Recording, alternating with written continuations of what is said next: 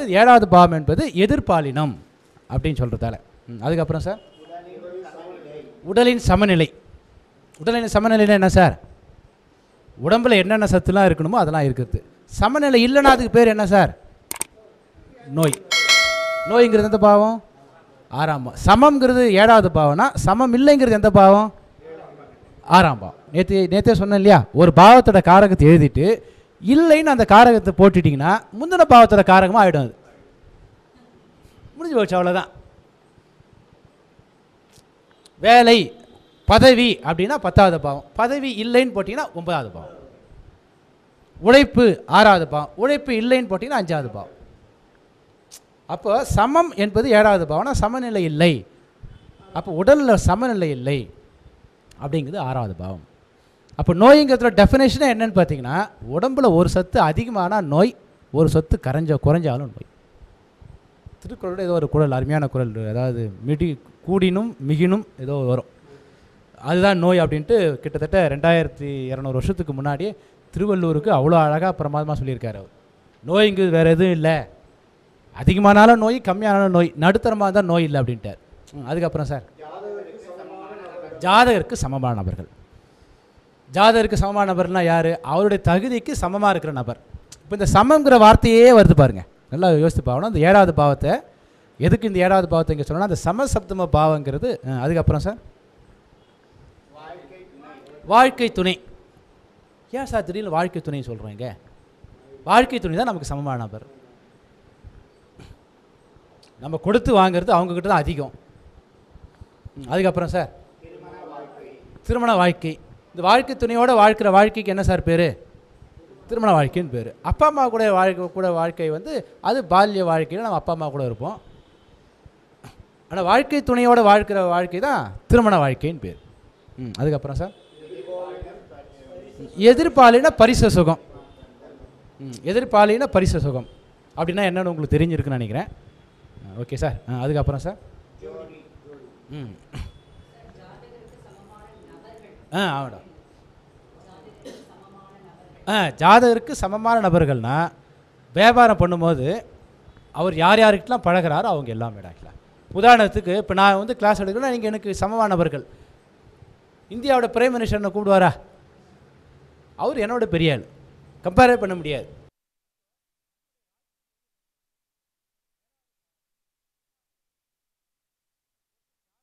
ஏழாவது பாவத்துக்கு வந்து அதாவது யார் யார் ஜாதகத்தெல்லாம் ஏழாவது பாவம் ஒற்றைப்படை பாவம் தொடர்பு இருக்கிறதோ இங்கே என்னென்னா காரகம் வந்து சொல்லிடுவோம் சார்.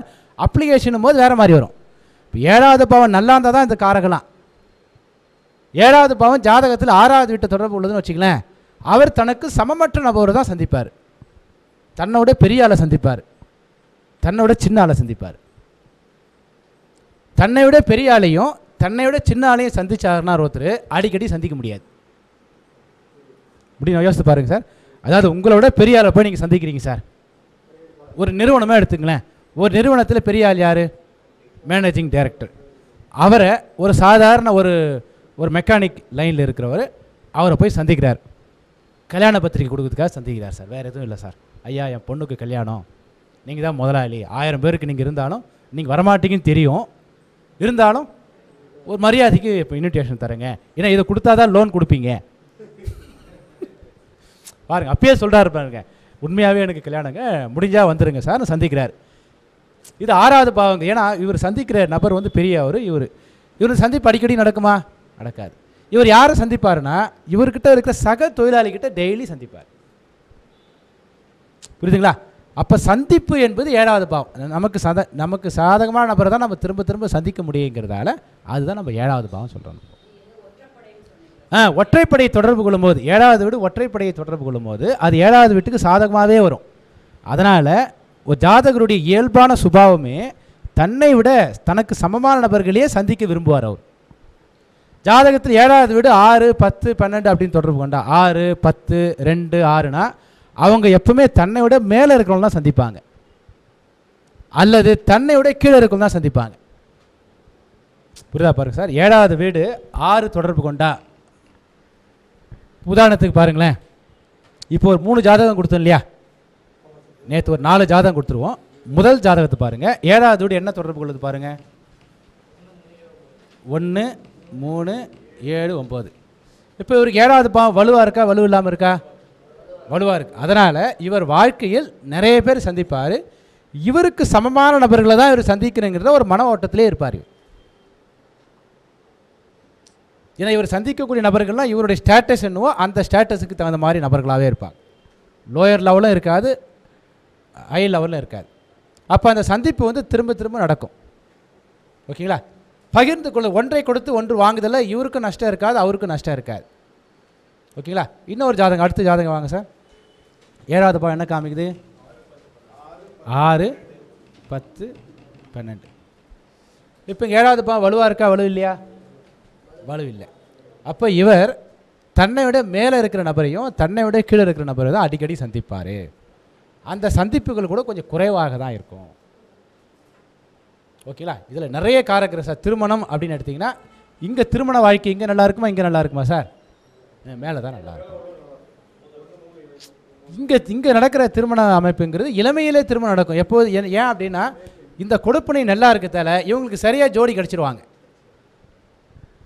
இங்கே கொடுப்பினை வீக்காக போயிட்டதால இங்கே சரியான ஜோடி குயிக்காக கிடைக்காது.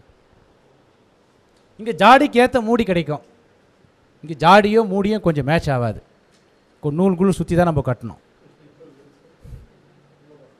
ஓகேங்களா? அதுதான் கொடுப்பினை. இந்த ஏழாவது பாவத்தில் கொடுப்பினைங்கிறது. அதாவது ஒன்றை கொடுத்து இன்னொன்றை வாங்குதல். ஓகேங்களா? அந்த வகையில் இந்த ஏழாவது பாவம் என்பது நாம் என்ன பண்ணுறோம் அப்படின்னு பார்த்தீங்கன்னா ஒவ்வொரு பாவத்துக்கு ஏழாவது பாவங்கிறது ஒரு விஷயத்தை பகிர்ந்து கொள்ளுதல் அப்படின்னு. அப்போ எட் ரெண்டு எட்டுங்கிறது நூறு சதவீதம் பேடு ரெண்டு எட்டுங்கிறது ஐம்பது சதவீதம் தான் பேடு ஏன்னா இங்கே பிரச்சனைகளை பகிர்ந்து கொள்கிறாங்க ரெண்டு எட்டுனா பிரச்சனைகளை பகிர்ந்து கொள்ளுதல் பணத்தை பகிர்ந்து கொள்ளுதல்.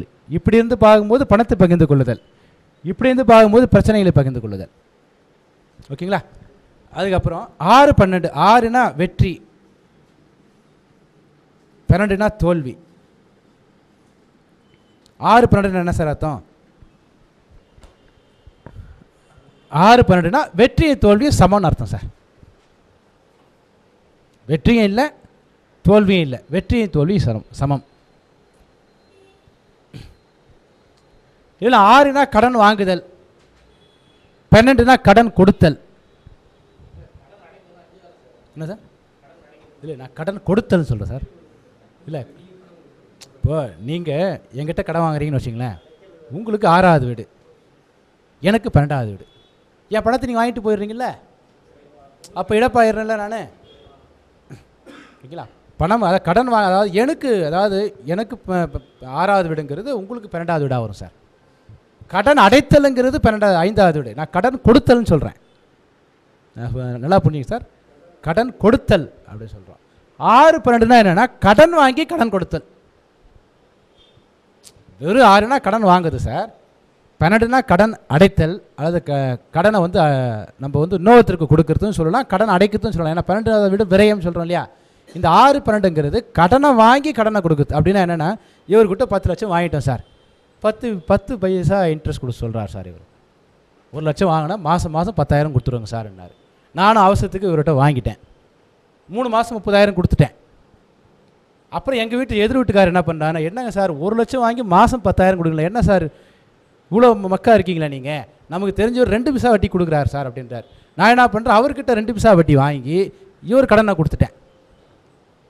நான் இன்னும் கடனாளியாக தான் இருக்கேன். இதான் ஆறு பன்னெண்டுன்னு அர்த்தம் சார். ஆறு பன்னெண்டு நான் ஒரு கடனை வாங்கி இன்னொரு கடனை கொடுத்தேன் சார். ஆனால் கடன்கிறது அப்படியே பேலன்ஸாக நடுநிலையாக தான் இருக்குது அதாவது இந்த ஒன்றை ஒன்றை கட்டுப்படுத்துதல்னு சொல்லுவோம் சார் இந்த சப்தம பாவத்தை. ஒரு பாவத்தோட வீரியத்தை குறைக்கிறது. இப்போ பத்து விசா இன்ட்ரெஸ்ட்டை விட ரெண்டு விசா இன்ட்ரெஸ்ட்டுங்கிறது என்னுடைய கடனை வந்து கட்டுப்படுத்துது பார்த்தீங்களா? அந்த மாதிரி சார். ஆறு பன்னெண்டு என்பது கடன் வாங்கி கடன் அடைத்தல். அதாவது கடன் அப்படிங்கிற விஷயத்துக்கு நீங்கள் பார்க்கும்போது ஆறாவது பாவத்தில் நிறைய காரகம் இருக்குது வெற்றினா வெற்றியும் தோல்வியும் சமம். ஓகேங்களா? உத்தியோகம்னு பார்க்கும்போது உத்தியோகம் உத்தியோகம் வழியாக பாதி நாள் வேலைக்கு போவார் பாதி நாள் வேலைக்கு போக மாட்டார். இந்த ஆறாவது பாவத்துடைய தன்மையை பாதியாக குறைக்கக்கூடிய பாவம் தான் சார். இந்த ஆறு பன்னெண்டு. இந்த ஒவ்வொரு பாவத்துக்கும் இந்த சப்தம பாவம் என்பது அந்த பாவத்தோட காரகத்தை பாதியாக குறைக்கிறது டிவைட் ஆக்கி விட்டுடுது அப்படின்னு சொல்லுவோம் சார். இதில் ஒரு விதிவிலக்கு என்னென்னா இப்போ இது வரைக்கும் நம்ம இரட்டைப்படை பாவத்தை தான் பார்த்தோம். ஒற்றைப்படை பாவத்துக்கு வேறு மாதிரி விதிவிலக்கு சார். என்ன சொல்கிறேன் பாருங்களேன். மூணாவது வீடு தகவலை அனுப்புதல் சார்.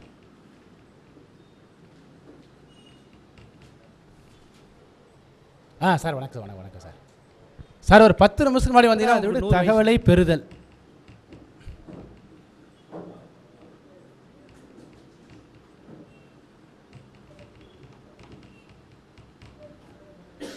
தகவலை அனுப்புதல்ங்கிறது மூணாவது வீடு தகவலை பெறுதல் என்பது ஒன்பதாவது வீடு. மூணு ஒம்பதுல என்ன சார் சொல்லலாம் அப்போ? தகவல் தொடர்பு சொல்லலாமா? தகவல் பரிமாற்றம் சொல்லலாமா?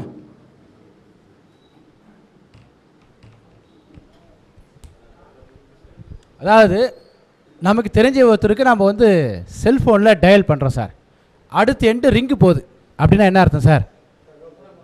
ஆ மூணாம் வேலை செய்யுது. நம்ம நம்ம ஏரியா பக்கம் ஓகே. நாம் அவருக்கு ரிங்கு கொடுத்துட்டோம். அவர் எடுக்கலை. அப்படின்னா மூணாவது பாவம் சார்.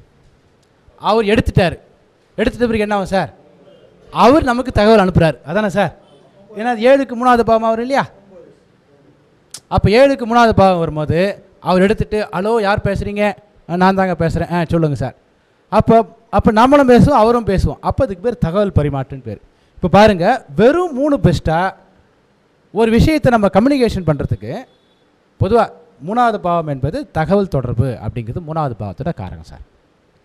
ஆனால் மூணு ஒம்போதுங்கிறது தகவல் பரிமாற்றம்னு சொல்லுவோம். பாருங்கள் மூணு பெஸ்ட்டாக மூணு ஒம்பது பெஸ்ட்டா சார். மூணு ஒம்பது தான் பெஸ்ட்டு ஒன்றும் இல்லை நம்ம வாட்ஸ்அப் அனுப்பும் போது கூட ஒரு டிக்கு விழுந்தால் நாம் அனுப்பின மெசேஜ் அங்கே போயிடுச்சுன்னு அர்த்தம். அதானே சார்? எனக்கு தெரியாது ஆக்சுவலாக ஒரு டிக்கு வந்தால் நாம் இப்போ அனுப்பின மெசேஜ் அங்கே போயிடுச்சு. ரெண்டு டிக்கு வந்தால் என்ன சார் அர்த்தம்?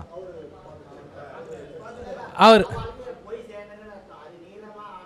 ஓ நீளமானது அவர் பார்த்தார் அர்த்தம். அப்போ இவ்வளோ டெக்னிக் இருக்குது பார்த்தீங்களா ஓ ரெண்டு டிக்கு வந்தால் அவர் பார்த்தார் மாதிரியா? ஆ. ஆ அவர் நெட்டு ஆன் பண்ணாமல் இருந்தா நெட்டு ஆன் பண்ணாமல் இருந்தா ஆ ஆ, இந்த மாதிரி. ஆ ஆ. ஓ ஆ. ஓ அந்த மாதிரி சார். அப்போ இந்த ப்ளூ கலர் தான் இந்த மூணு ஒம்பது சார் இந்த ப்ளூ கலர் அதாவது நம்ம இந்த மாதிரி சிந்திச்சாதான் நம்ம வந்து க்ரியேட்டிவிட்டியாக நம்ம இருக்க முடியும் சார் அப்போ மூணு ஒம்பதுங்கிறது தகவல் பரிமாற்றம். இப்போ பாருங்க இந்த ரெட்டைப்படை பாவத்து ரெட்டைப்படை பாவத்தில் நம்ம எல்லாம் என்ன பண்ணோம்? ஒன்று ஒன்றா குறைச்சிட்டு வந்தோம். தொழில்னா போட்டி தொழில் சொத்துனா கூட்டு சொத்து. ஆனால் ஒற்றைப்படை பாவம் வரும்போது என்ன ஆகுதுன்னா இது ஒத்தப்படை பாவம் தானே? இங்கே என்ன ஆகுதுன்னா இது இன்க்ரீஸ் ஆகுது. என்ன காரணம்னா ஒற்றைப்படை பாவத்துக்கும் இரட்டைப்படை பாவத்துக்கும் அந்த பரிமாற்றம் பண்ணும்போது ஒரு வித்தியாசம் இருக்குது சார். ஒற்றைப்படை பாவத்தை தனித்து செய்யும் போது அதில் சுகம் கம்மி. இது தனித்து இருக்கும்போது அதனுடைய பலன் கம்மி. கூட்டாக செயல்படும் போது அது பலன் அதிகம். உதாரணத்துக்கு சொல்கிற பாருங்களேன். ஐந்தாவது வீடு.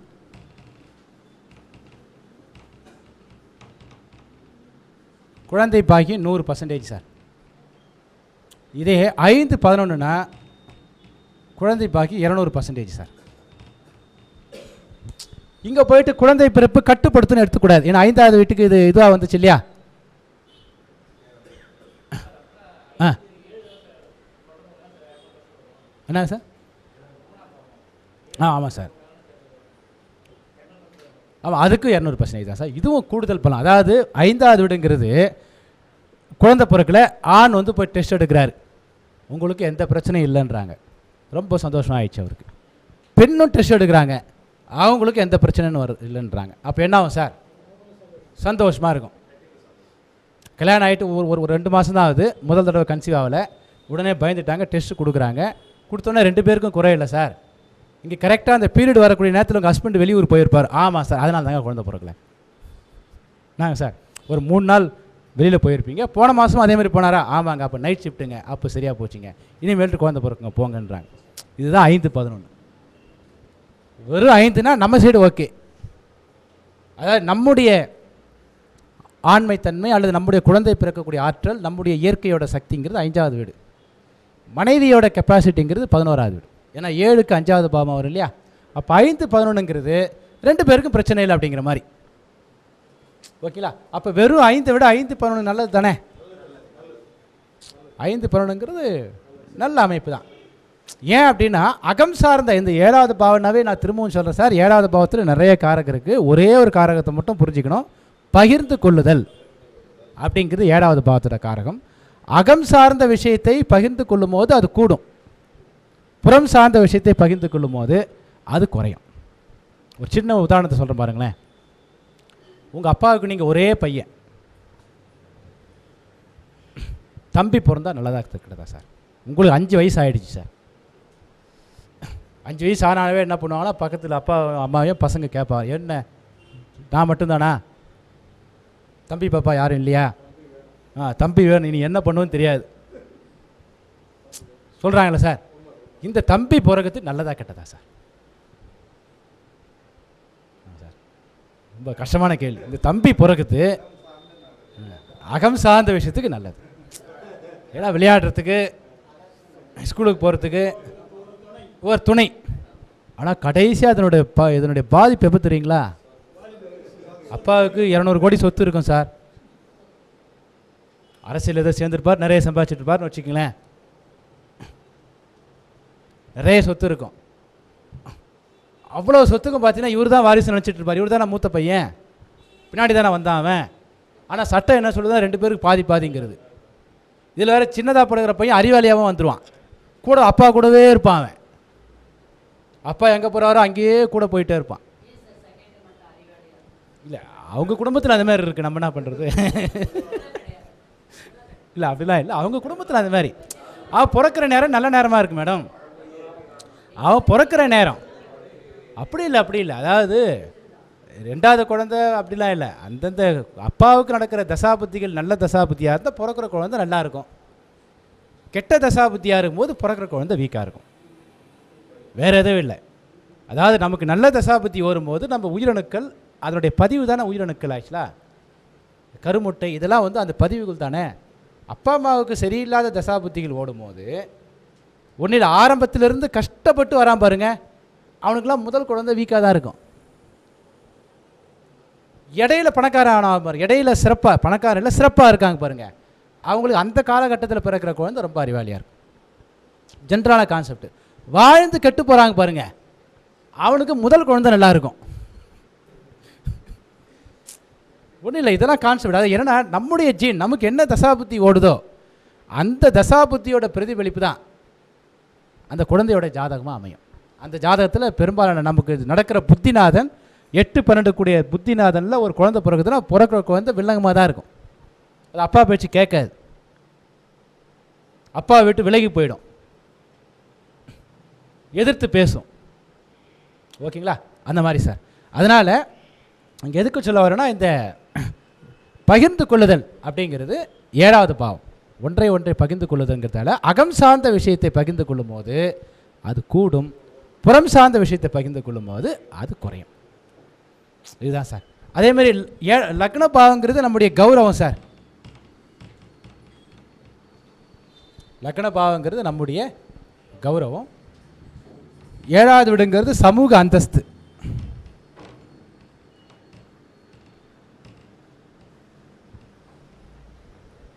அதான் சமூக அந்தஸ்து இருக்கா இல்லையான்னு ஒரு ஜாதகத்தை எப்படி செக் பண்ணி பார்க்கலன்னா ஒன்றும் இல்லை நம்ம ரோட்டில் நடந்து போகிறோன்னா நாலு பேர் நமக்கு வணக்கம் சொன்னாலும் நமக்கு சமூக அந்தஸ்து இருக்குன்னு அர்த்தம் சார். வேறு வழியே இல்லை. நாலு பேர் நமக்கு எப்போ வணக்கம் சொல்லுவாங்க சார்? நம்ம மேலே பிரச்சனை இல்லாத போது தான் இந்த ஏழாவது பாவங்கிறது எட்டுக்கு பன்னெண்டாவது வீடு. எட்டுனா என்ன அர்த்தம் சார்? எட்டுன்னு அவமானம் வேதனை பிரச்சனைகள். ஒன்றும் இல்லை. ஒரு நபர் நல்லா வாழ்ந்துட்டுருக்காரு. ரெண்டு தடவை ஜெயிலுக்கு போயிருக்காரு. அதாவது தியாகியாலாம் இல்லை சார். ஸ்ட்ரைக் பண்ணி ஏதோ ஒரு பிரச்சனை அவருடைய பர்சனல் விஷயத்துக்காக எதிர்வீட்டுக்காரனை போட்டு அடிச்சிட்டாரு. எதிர்வீட்டு வீட்டுக்குள்ளே புகுந்து பூட்டை உடைச்சி உள்ள இருக்கிற பொருளை கொண்டாண்டாரு அப்போ என்ன சார் அவருக்கு ஜெயிலு தான் போகும் ஜெயிலுக்கு போயிட்டு ஒரு ஆறு மாதம் இருந்துட்டு அப்புறம் வெளியில் வராரு. அந்த தெருவில் இருக்கிற எப்படி சார் பார்ப்பாங்க அவரை? என்ன சார்? இது ஒரு படத்தில் சொல்லுவாங்க இப்போ யோகியம் வரான் சொம்பு தூக்கி உள்ள வை அப்படின்னா அப்போ அவர் உள்ளே நுழையும் போதே ஆட்டோமேட்டிக்காக ஏதோ ஒரு சினிமா ரொம்ப நல்ல அருமையான காமெடியாக இருக்கும். யோகியம் வரா செம்பு தூக்கி உள்ள வை அப்படின்வாங்க அது நம்ம காது நம்ம கிட்ட வரும்போது ரெண்டு தடவை அழுத்தி சொல்கிறது இன்னும் அவன் காதில் வேலை எடுத்து உள்ளவை அவன் இன்னும் பார்க்கல எடுத்து உள்ளவை அப்படி எப்படி சார் இருக்கும்? கூனி குறுக்கி தானே போகிற மாதிரி இருக்கும்? இது எட்டாவது வீடு. ஏழாவது வீடுங்கிறது என்னன்னு பார்த்தீங்கன்னா அது நல்ல அமைப்பு. சமூக அங்கீகாரம். ஏழாவது வீட்டுக்கு சமூக அங்கீகாரம்னு பேர் சார்.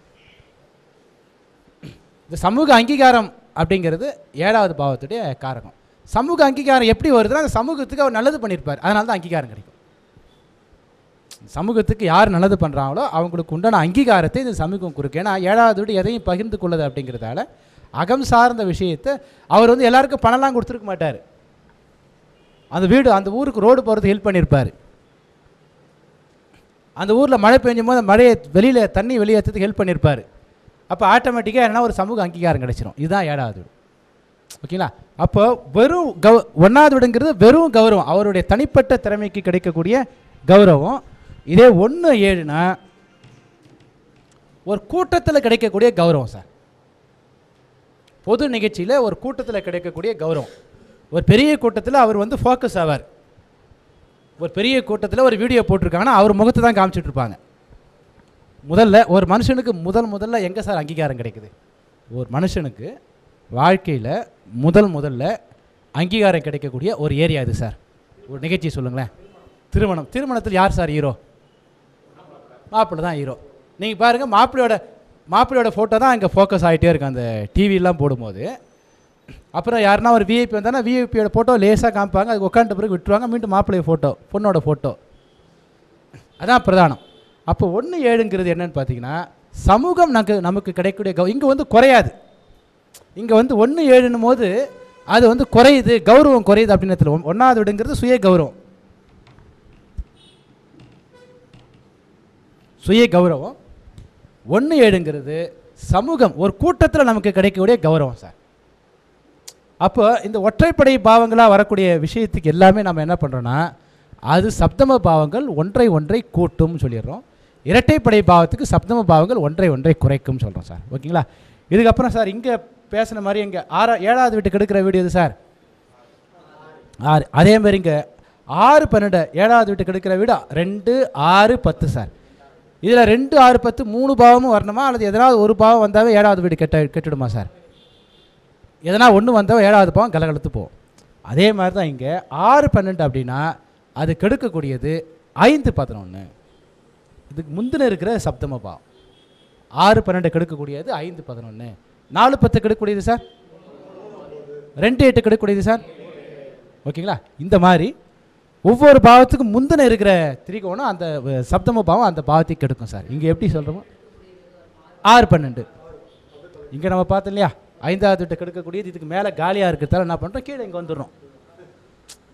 ஏன்னா போன கிளாஸில் ஒரு ஒரு கிளாஸ் எடுக்கும்போது சார் இதை கெடுக்குது இதுன்னு சொல்கிறீங்க நாயம் மேலே இருக்குது இதை கெடுக்குது இதுன்னு சொல்கிறீங்க நாய் இருக்குது அப்போ இதை கெடுக்குது மேலே காலியாக தானே இருக்குது அதனால தான் பூர்வ புண்ணிய ஸ்தானம் சொல்கிறாங்களா இதை? அப்படின்னாரு.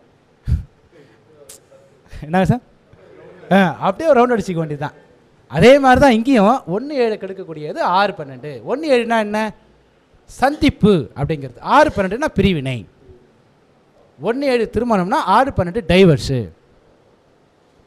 தனிமை. ஏழாவதோடு ஜோடின்னு ஆறாவதோடு என்ன சார் சொல்லலாம்? தனிமை. அதாவது இந்த பேனாவை மூடியும் இப்போ ஒன்று ஏழாக இருக்குது சார். பாருங்க. இது ஒன்று இது ஏழு. கீழே. கரெக்டாக இருந்துச்சு இப்போ என்னென்னா சார் இந்த மூடியை கொடுங்க சார். மேட்சே ஆக மாட்டேங்குது. பாருங்கள் பாருங்கள் கீழே வந்துச்சு சார். அப்போ இது இந்த ஏழாவது பா இந்த- இந்த இந்த பாவமும் இந்த பாவமும் சரியில்லைன்னு அர்த்தம். இதே மாதிரி தான் நம்ம ஜாதகத்தில் ஏழாவது வீடு யார் யாருக்கெல்லாம் ரெண்டு ஆறு பத்து நாலு எட்டு பன்னெண்டுன்னு தொடர்பு கொள்கிறதோ அவங்களுக்கு ஜாடிக்கு ஏற்ற மூடி கிடைக்காது. ஒன்று பெருசாக கிடைக்கும் ஒன்று கம்மியாக கிடைக்கும். நூலை சுற்றி அட் அட்டாச் பண்ண வேண்டியது தான். ஓகே சார் ஏழாவது வீடு யார் யாருக்கெல்லாம் ஒற்றைப்படையாக இருக்கும் அவங்களுக்கு ஜாடிக்கு ஏற்ற மூடி. என்ன சார்? ஆறு எட்டு பன்னெண்டுனா கிடைக்காது. அதுக்கப்புறம் கலத்தரக்காரங்க சுக்கரன் கெட்டு போயிருக்கணும். அதுக்கப்புறம் லக்ன பாவம் கெட்டு போயிருக்கணும். அதாவது ஒரு விஷயம் ஒருத்தருக்கு கிடைக்கவே கிடைக்காதுன்னா அதுக்கு பல்வேறு வகையில் பாதிப்பு வந்தால் தான் சார் கிடைக்காது. அதான் ஏழாவது வீடும் கெட்டு போயிட்டு கலத்திரக்காரகன் சுக்கிரனும் கெட்டு போயிட்டு பெண்களுக்கு செவ்வாயும் கெட்டு போயிட்டு லக்னமும் கெட்டு போயிட்டு அவர் கிடைக்கவே கிடைக்காது. ஏன்னா நம்ம பன்னெண்டு பாவத்தில் லக்ன பாவங்கிறது ஹெட் ஆஃப் த டிபார்ட்மெண்ட் ஒரு பாவம் கெட்டு போச்சுன்னா லக்ன பாவத்திலேருந்து சிக்னல் கொடுக்கலாம். லக்ன பாவமும் கெடும்போது அது சிறப்பாக இருக்காது. அதை நம்ம போக போக நம்ம பார்த்துருவோம் இன்றைக்கி ஈவினிங் போகும்போது உங்களுக்கு ஒரு தெளிவு கிடச்சிரும் சார். நாளைக்கு ஒரு கொஞ்சம் ஓரளவுக்கு ஒரு நாற்பது வயசு கீழே இருக்கிறவங்களாம் இன்றைக்கி தெரிஞ்சுக்குவீங்க.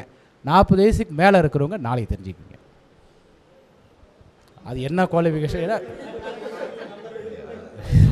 உண்மையை சொல்கிறேன் சார் நான். நாற்பது வயசு கீழே இருக்கிறவங்க என்னென்னா அவங்க இன்றைக்கி போன உடனே அவங்க அது அவங்களுக்கு இயற்கையாகவே கிரகிக்கும் ஆற்றல் அதிகமாக இருக்கும் சார். ஆ மேடம். அப்படிலாம் இல்லை மேடம். அப்படி தான் நானும் நினச்சிட்டு இருந்தேன். இல்லை அப்படி இல்லை மேடம். அதாவது என்னென்னா என்ன மேடம்? ம். இல்லை அப்படி இல்லை மேடம். அதாவது என்னென்னா இள வயசு நபர்கள் ஈஸியாக கற்றுக்கோங்க குயிக்காக விட்டுட்டு போயிடுவாங்க. வயசானவர்கள் நிறுத்தி நிதானமாக பார்ப்பாங்க செடியாக நிற்பாங்க இன்னும் முடிக்கவில்லை நான். அதுதான் ஆக்சுவலாக அதாவது நாற்பது வயசு கீழே இருக்கிறவங்க வேகமாக வருவாங்க. மின்னல் வாமான்ற மாதிரி வந்துட்டு கொடுத்துட்டு போயிடுவாங்க அவ்வளோதான் அடுத்து வேலை இருக்கும் அவங்களுக்கு? வயசானவங்க கொஞ்சம் பொறுமையாக நிதானமாக இவர் சொல்கிறதெல்லாம் உண்மையா? இதெல்லாம் எங்கேயுமே இல்லையே. இவர் பேக்ரவுண்ட் என்ன? அப்படின்ட்டு யோசித்து அதில் புரிந்து கொள்வதற்கு இயற்கையாகவே வயசாக வயசாக நம்மளுடைய மூளையோட கிராஸ்பிங் பவர் கம்மியாக தான் ஆகும் சார். ஆனால் பிடிச்சிட்டா நிலையாக நிற்பாங்க ஓகேங்களா? ஆனால் சின்ன வயசு பசங்க பிடிச்சிட்டா அதுக்கப்புறம் பார்த்திங்கன்னா அவங்களுக்கு நிற்கிறதுக்கு சூழல்கள் இருக்காது. ஆனால் கிராஸ்பிங் பவர் அதிகமாக இருக்கும். அதை நான் ஒத்துக்கிறேன் நான். ஏன்னா சின்ன வயசு பசங்களும் ஏன்னா எங்கள் டீமில் வந்து யார் யாரெல்லாம் ரொம்ப சின்ன வயசு பசங்களாக இருக்காங்களோ அவங்க வந்து பயங்கரமாக ஷைன் பண்ணுவாங்க. அது பிலோ ஃபார்ட்டியில் இருக்கிறவங்க. அதை கூட சொன்னது கூட ஒருத்தர் கோச்சிக்கிட்டார் போன கிளாஸில் ஏன் அப்படின்னா அது அப்படி இல்லை சார் எக்ஸ்பீரியன்ஸ் எங்கே சார்னா அப்படிலாம் இல்லை சார் நீங்கள் பாருங்கன்னா அதே மாதிரி தான் நடந்தது. ஏன்னா அவங்களுக்கு அந்த அந்த இந்த டெக்னிக் அதாவது என்னென்னா நடைமுறை டெக்னிக் அவங்களுக்கு தெரியும் சார். அதாவது இந்த சாஃப்ட்வேரு கம்ப்யூட்ரு செல்ஃபோன் இதெல்லாம் போக பார்க்க பார்க்க அவங்களுக்கு ஒரு க்ரியேட்டிவிட்டி வந்துடும் அதுதான் மற்றபடி எதுவும் இல்லை சார். ஒரு நாள் தான் வித்தியாசம். நான் இப்போ பன்னெண்டு மணி நேரம் தான் வித்தியாசம் சொல்கிறேன் நான்? ஆ. ஆ ஆ. Sir okay. சார். அதனால் வந்து இதான் சப்தம பாவம். சார் இது ஒன்றை ஒன்றை கட்டுப்படுத்துங்கிறது ரூலு. ஆனால் அதில் என்ன அப்படின்னா அகம் சார்ந்த விஷயத்துக்கு ஒன்றை ஒன்றை கட்டுப்படுத்தாது புறம் சார்ந்த விஷயத்துக்கு ஒன்றை ஒன்றை கட்டுப்படுத்தும். இப்போ திருமணம்னு எடுத்துக்கங்களேன். திருமணத்தில் அகம் சார்ந்த விஷயம்னா என்னென்னு பார்த்தீங்கன்னா கணவன் மனை ரெண்டு பேருடைய தாம்பத்தியம் என்பது அகம் சார்ந்த விஷயம்.